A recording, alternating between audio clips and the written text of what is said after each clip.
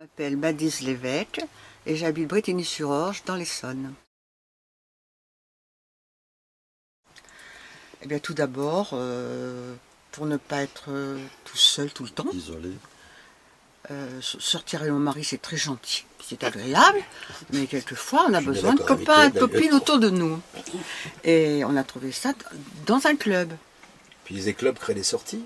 Oui, ben, c'est la vie du club. Il y a déjà les, les gens mêmes, les sorties que- organisées par un tel ou par un tel, et donc les gens se connaissent plus, et donc euh, on, on peut trouver une amitié, des relations que l'on n'a pas quand on est indépendant.